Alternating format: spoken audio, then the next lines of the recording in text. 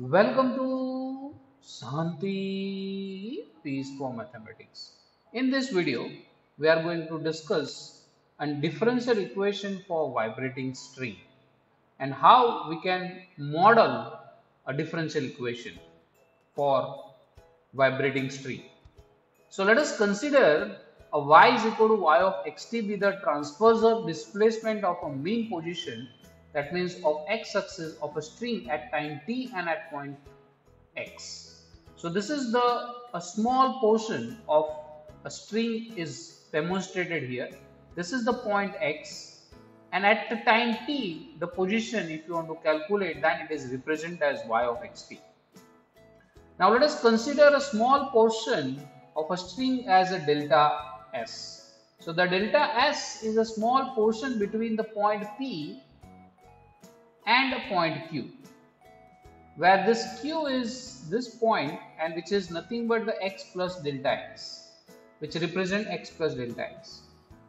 And the force acting on a part of a string are tension at p and q that we have to have. So there is a tension at the point p is given and tension at point p is also there. We are neglecting a weight of a string here. So we are assuming that there is no weight is applicable on a string. Now we just observe that if I can consider this is my line and if I consider this is the T1 and this tension is T2, if I want to calculate what will be the tension in a x direction and if I consider this angle is xi1 and this angle is xi2. So we'll assume that in x direction that is in this direction a tension or in x direction there is no displacement is there. So that is t here and here is also this is our t and we need to calculate what will be the situation we got here. So I can say the equation of the motion the equation of motion in x direction assuming no displacement in x direction. So we are assuming that there is no displacement in x direction is appear.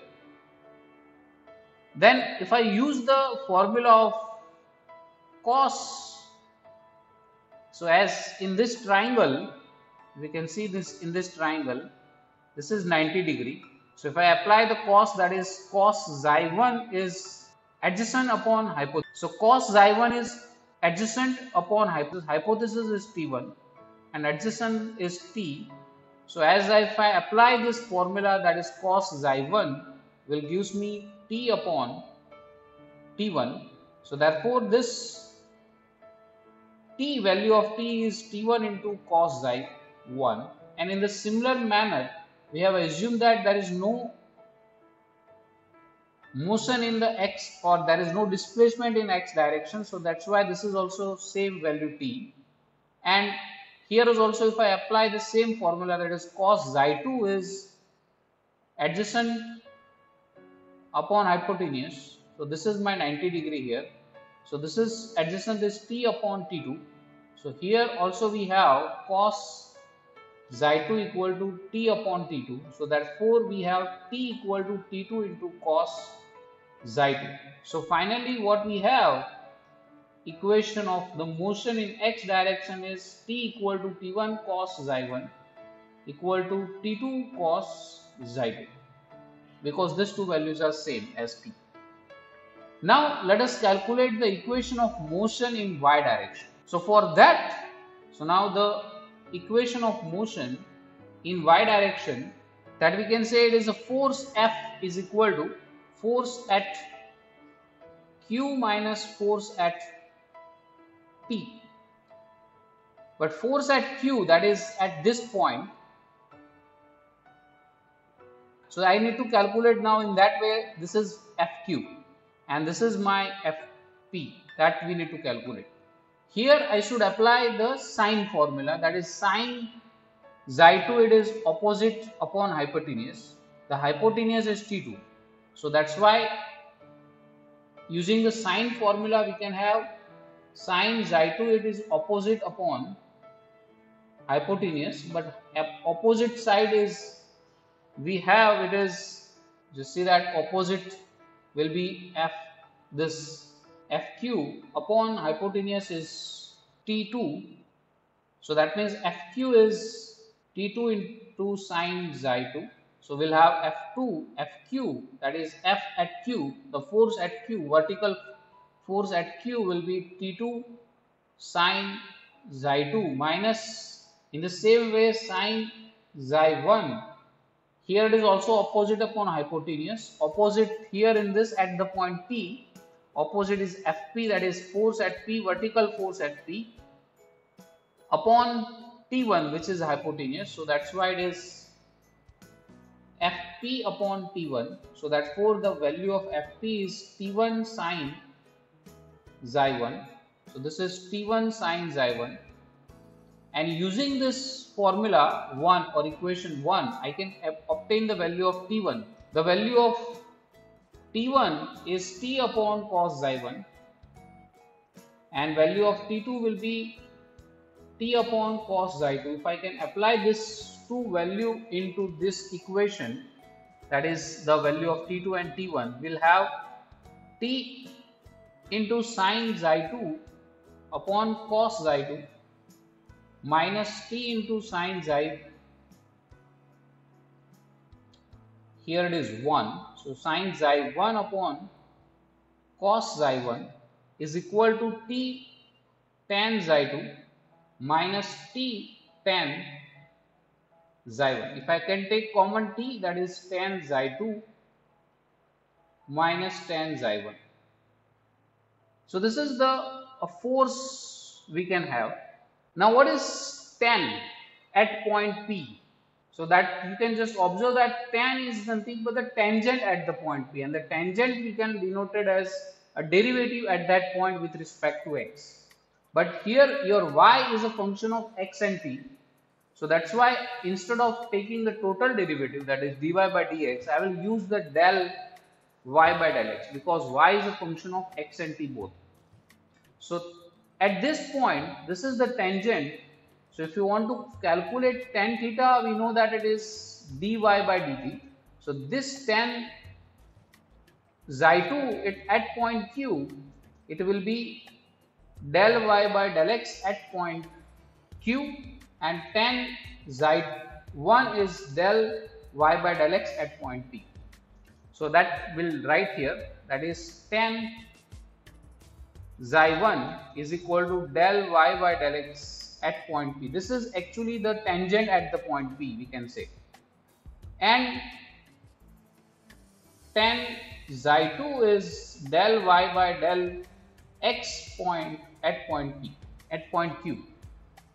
Now you recall one of the formula from Taylor series or I can say the approximation of the function which tells you that y x plus delta x is, is approximately y at x plus delta x into y dash at x. So this is the approximation of x, y plus delta x.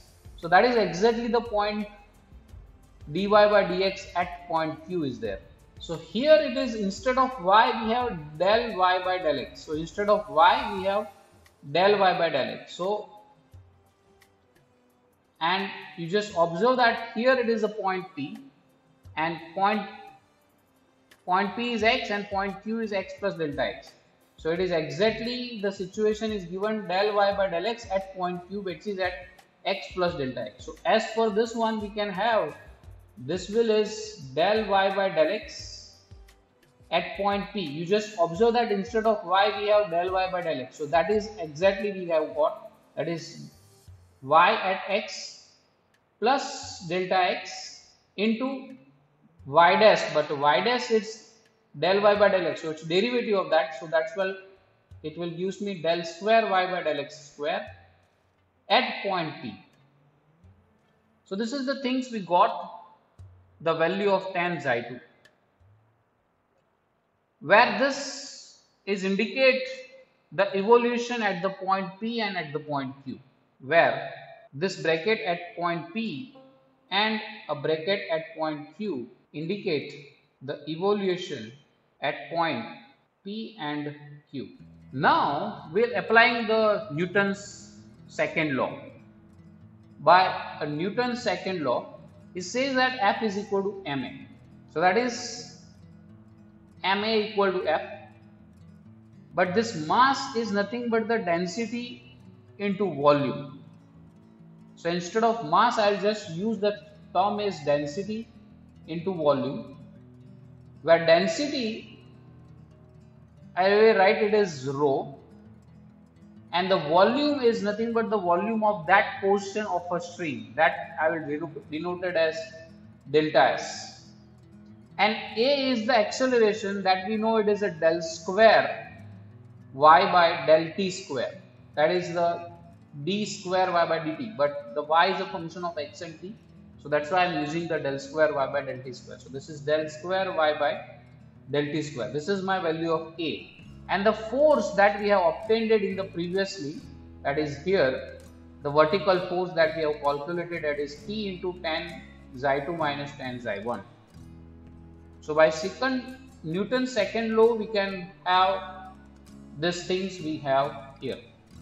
Now, what is the value of tan xi 2 we have calculated from here? We have it is T into del y by del x at point P plus delta x into del y square by del x square at point P minus tan xi 1 the value of tan xi 1 we have calculated as del y by del x at point P so it is minus del y by del x at point P and then you just observe that this del y by del x at point P is cancelled out.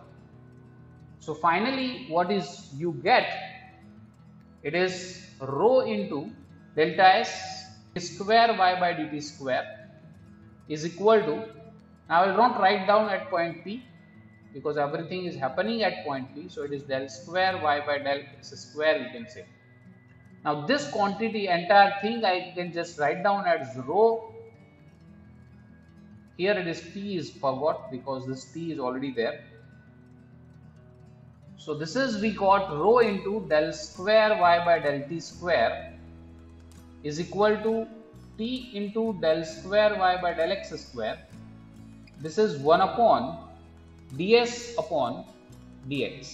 So what I take is I have divided by delta x both side and then dividing by delta x will have this.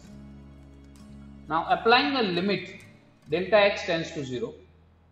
This quantity that is nothing but the limit of delta s upon delta x as delta x tends to 0 will gives me ds by dx. So that's why this will gives me rho into del square y by del t square is equal to t into del square y by del x square 1 upon ds by dx. But dx by ds is the value which is a derivative of arc length upon x with respect to x will gives me that is rho del square y by del t square is equal to t del square y by del x square into 1 upon square root of 1 plus del, del y by del x whole square. And if I'm considering this del y by del x is very very small than 1 that means what we are assuming is if the slope is small everywhere very small slope will be there. D, del y by del x is very small. That means that a slope is very small. That means we can neglect this term.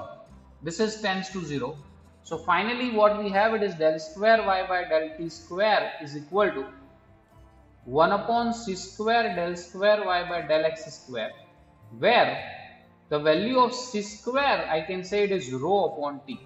And this equation that we achieved here this is this is called a linear one dimension wave equation. And this is a modeling of one dimensional wave equation